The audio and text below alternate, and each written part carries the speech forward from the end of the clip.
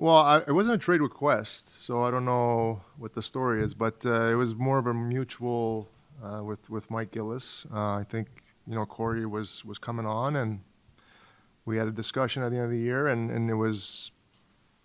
I think we decided that it was best, you know. If, I think I moved on, and, and Corey was the guy, so it wasn't really a trade request. I think it was more of a mutual um, decision, and.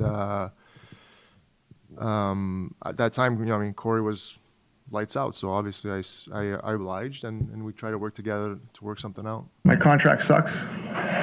Literally 15 minutes before I came out, uh, found out that I wasn't getting traded to Toronto. So, um, so it was a little bit emotional at that very time. Um, didn't really have time to regroup.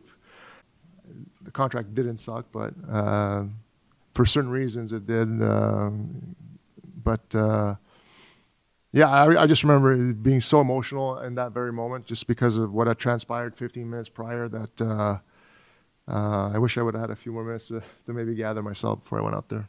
Weird feelings in my stomach. Uh, not that I had to go to the bathroom, but just that. Uh, oh yeah.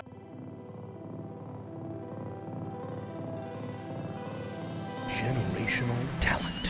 Thanks for liking the video and subscribing.